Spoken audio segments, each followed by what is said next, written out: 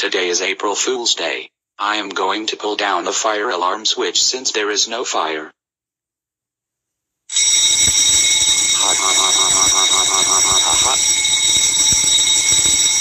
It's the fire alarm that goes off.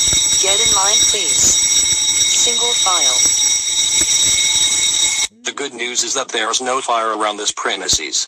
The bad news is that someone allegedly pulled down the fire alarm switch. Do you know anyone who could have done such a thing? I know who did this. It was Caillou. Caillou, get over here right now. Yes, teacher. The fire alarm went off. Did you do that? Yes, I did. Why would you do that?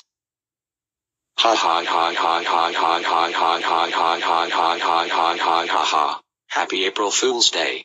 Caillou, this is not very funny. We take fire alarms seriously. In that case, I am calling your parents.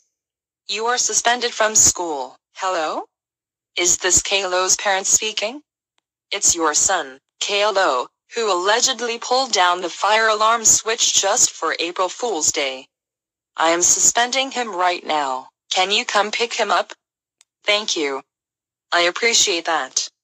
Bye. They're on their way now.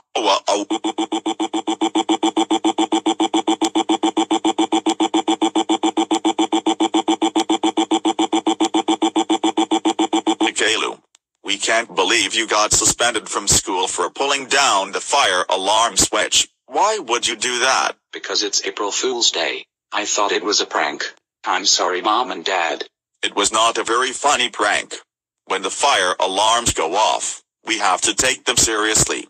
Your apology is unacceptable.